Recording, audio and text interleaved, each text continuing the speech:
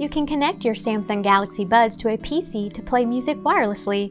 Before getting started, make sure your Galaxy Buds aren't connected to another device. Now if your buds are already in the case, all you need to do is open the case to enter pairing mode.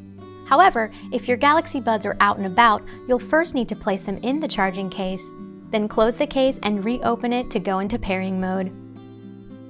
Next, on your PC, make sure that Bluetooth is turned on. Then click on Add Bluetooth or other device. Choose the kind of device you want to add. Select your Galaxy Buds from the list of available devices. You are now connected and ready to go.